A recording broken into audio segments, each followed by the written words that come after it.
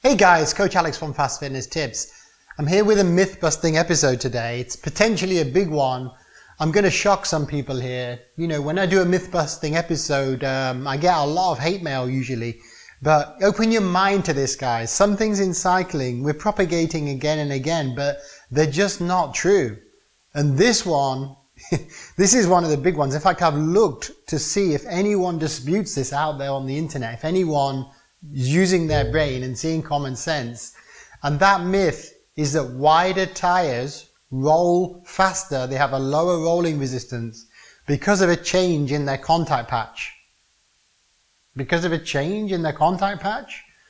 But uh, come on guys, where did this rumor come from? It's not a rumor. This is actually a claim, a claim that's been made by Schwalbe and other tire companies starting in about 2010, not that long ago really, if you think about it. What they're saying is if you take a big tire like this one here, this 28 millimeter on this Mavic Comete awesome, you know, deep dish wheel, they're saying the 28 will roll better than the 25 or the 23. Is that really true? Let me have a think about that for a second. I want you to have a think about it as well. Because this is going to break the laws of physics if it's true because the contact patch must be pretty much the same area if there is the same weight and the same pressure. There's the same pressure in the tire and the same force on that bike, i.e. the same rider, and you swap out the tires, the contact patch must be the same area, isn't it? Must, isn't that the case? Or is there something really weird going on? Okay, okay, to be fair, they are saying that it's the difference in the contact patch. But even when you look at the difference in the contact patch, like, yeah, there is a difference. And maybe uh, if you could visualize this, if you were filling up a bathtub, you know, really fat bathtub, and you had to have the same area across the bottom of the bath, and you filled up a big fat bath versus a long and thin bath, then to get to the same surface area, obviously the shape of that um, fill, the fill, the water in the bath would change. So the equivalent in tires is that for a wide tire, your contact patch is, you know, generally chubby like the tire. It's more like horizontal. And for a thin tire, like 19 millimeter or 20 millimeter, it's more long and thin. But in reality, you know, the difference between, you know, 25 and 28, the contact patch area, remember the actual area is exactly the same, but the contact patch dimensions, I should say, the difference is actually about one millimeter. So they're saying then that one millimeter makes such a difference? Are they saying then that, that, that the rolling characteristics make a difference because of the way the sidewall is being compressed? I don't buy that, guys. I really don't buy it. And in fact, if you think about it, if the pressures are the same and the contact patch is the same area, what is really changing is the compressibility of the tire. So if you take a 25 millimeter tire, it might compress 4 millimeters if you pump it up to, let's say, 83 psi and you're a you know 80 kilogram bike and rider. But the 32 millimeter tire will compress to around 3 millimeters, i.e. 3 millimeters indent on the road, yeah? And the 23 millimeter tire will compress around about 6 millimeters. So hang on a second, the 28 and 32 millimeters will compress only a little bit. Potentially the 32 millimeter tire compresses only half the amount of the 23 millimeter tire when you've got the same contact patch at the same area. Obviously then, if the tire is less compressible, the fatter tire, yes, it's going to be rolling faster, but it's going to give a harsher ride, totally defeating the object of having a wider, fatter tire and the narrower tire is effectively soft. So the feel of the tire, even to the touch, for a wide tire at the same pressure is going to be actually harder and the narrower tire, the feel of it is going to be actually softer. And on the bike, you're going to get that same, same effect. So it's not a like for like comparison. In fact, on the Schwalbe website, this is what's also confusing. They've actually put like a scientific chart to prove the case and they're using a ridiculously big example like a fat bike tire, 60 millimeter, they call it the big apple. and they're saying that the 60 millimeter Big Apple is rolling just as well, in fact better. They're saying it's better than the 37 millimeter conventional like big road tire at around about, the comparison is 2 bar versus 4 bar. But actually, if you work it out, that's not a strictly fair comparison. It's not a like for like pressure comparison. And actually, the 37 millimeter would be the equivalent of 4.7 bar. Sorry to mix PSI and bar in this video, by the way. And if you want to check that out, check out our tire calculator here. We work out what appropriate pressure you get for your weight and your size and your, and your speed. And we also do the same in our tire chooser calculator. So what I'm saying to Schwalbe is I'm calling you out on that graph is not a like for like comparison on pressures. Okay, fine. I need to take a break here. I need to take a breath and say what I'm not saying as much as what I am saying. Am I saying that fat tires, wide tires don't roll better we should be going as narrow as possible? No, I'm not saying that wider tires don't roll better. I'm saying we've got to make a like for like comparison. And the like for like comparison is I want you to think of your tire like as a spring. So the outside, the cushioning is like a mini springs all the way around. If you are riding with different shaped tires, different size tires, different width tires, what you want on the road for an equivalent feeling is an equivalent spring effect. So what you actually want is an equivalent cushioning. So let's call that 5 millimeter drop. So you want say 5 millimeter drop on a 23 millimeter, a 25, a 28 and a 32. That will be a like for like comparison.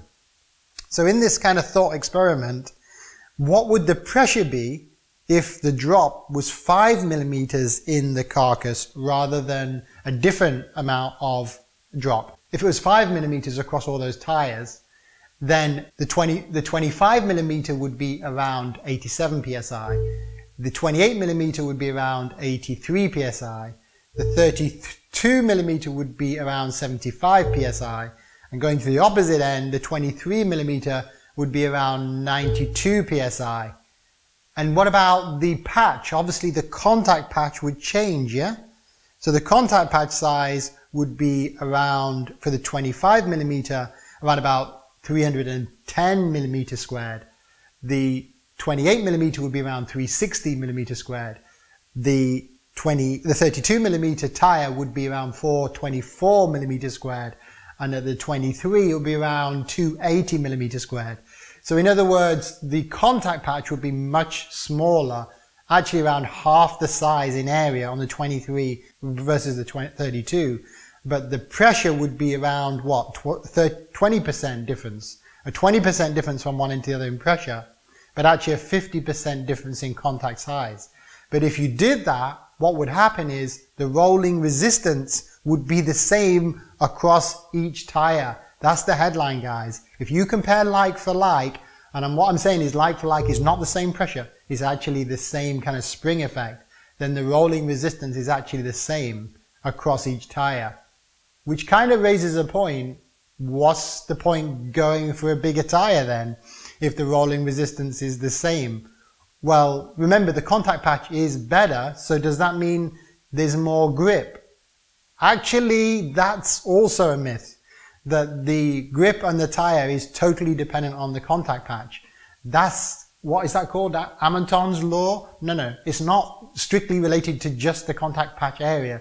It's more to do with the coefficient of friction on the road. However, to be fair, if the coefficient of friction is low, i.e., look, it's slippy conditions, you know, it's wet, it's a wet white line in the road, or it's very dusty, or you're descending at high speed, then yes, the contact patch does become important. So it does increase confidence in basically two conditions, high speed cornering and descending, then yes, a bigger tire is better. So when then is a smaller tire, a narrower tire better? Well, a narrower tire is fundamentally better for aerodynamics. You know, compare the Big Apple 60 millimeter tire with a 23 millimeter tire. The 23 millimeter tire is going to have better aerodynamics, yeah? So if your priority is purely speed, like you don't care about cornering that much, you don't care about descending, you're not in a massive sportive, then probably having a narrower tire is better. Subject to the caveat that you got to compare like for like, and also on very bumpy surfaces, on uneven surfaces, then yes, there is this impedance type of loss phenomenon. That is very true, that a wider tire will absorb bumps and roll more smoothly. So basically, in bad conditions, a wider tire is an advantage because it rolls over the bumps and it can be relatively soft, relatively smooth, let's say, for your needs. Whereas to get a like for like comparison, the smaller, narrower tire to get that same five millimeter drop is going to be a relatively, you know, high PSI, around about 92 PSI for the 23 millimeter.